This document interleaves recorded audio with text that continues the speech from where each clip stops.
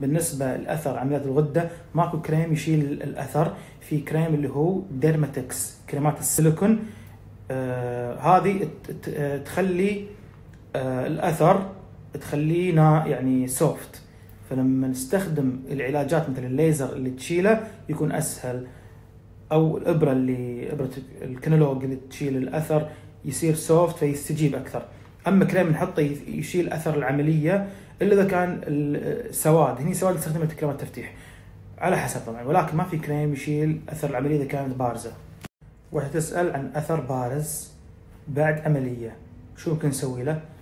هذا هو السؤال. نحط سيليكون عليه كريم Dermatix السيليكون.